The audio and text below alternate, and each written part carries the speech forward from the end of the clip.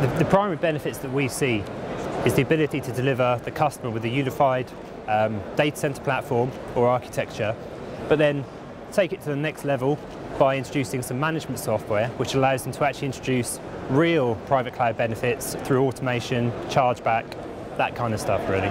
We've been building virtualization um, and storage platforms for people for years, but the primary benefits for us,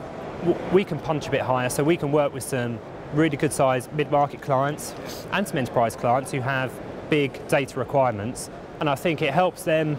trust us a bit more because we can use those um, CVDs, the validated designs from the vendors, and it helps um, it helps us demonstrate our capability and then once we've got a couple under our belt we can point to those like the progress rail case study so effectively it gives us a fast track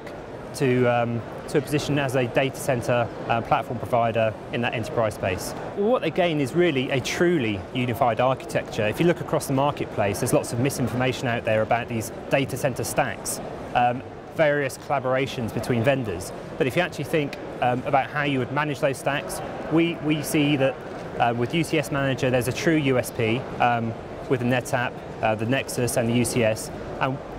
we don't see that you can manage um, that whole unified architecture as a private cloud with any other vendor's technology.